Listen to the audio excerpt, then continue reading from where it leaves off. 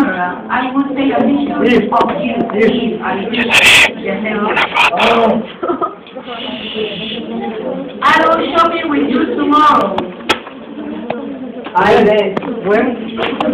When? When I finish my homework and I finish the work this evening. And show something you give refund When? When? Unless. unless you return